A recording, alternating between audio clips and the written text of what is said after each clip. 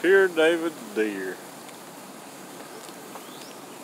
Soaking in Lewis's backyard. Just funny.